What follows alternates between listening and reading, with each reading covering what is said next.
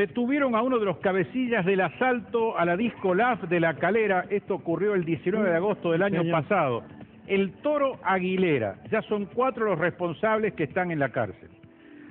Hacen falta 5 mil millones de pesos para solucionar los problemas de obras públicas de la ciudad. Esto lo calculó Mariano de Juan, que es el titular de Desarrollo Urbano.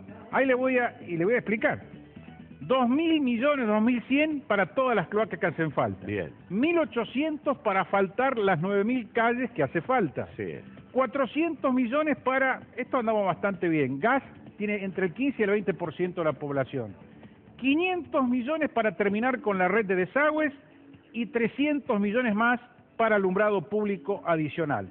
Ahora recordemos que la Fundación Mediterránea estimó hace poco que en los últimos 10 años no llegaron ni con suerte a invertirse en Córdoba 3 mil millones de pesos. O sea que si uno saca una proyección para estar hoy, harían falta casi 20 años.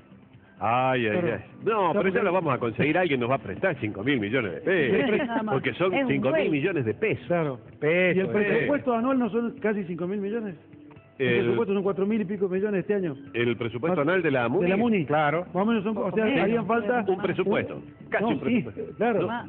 Un presupuesto y no, y no pagarle nada a nadie. No, no. Un año los empleados municipales nadie cobra, donan a la municipalidad, a la un ciudad, presupuesto para hacemos todas las y obras. hacemos todas las cosas. Sí, pero que te las van a destruir cuando no les pague y es No, un no. círculo. Bueno.